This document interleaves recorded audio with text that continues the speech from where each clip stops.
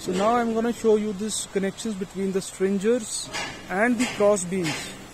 You can see this is a coped section of a I-beam. To be very careful, I'll just show you the details. You can see one angle section is welded to the stringer and on the other end where it is joined to the cross beam, four number of bolts are provided.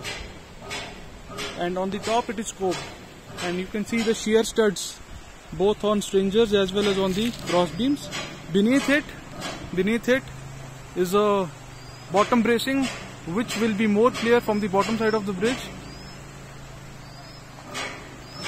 And uh, similar kind of joints are provided in all the cross beams and the stringer joints both at the end cross beam location and definitely at the intermediate cross beam locations if I just show you very carefully you can see.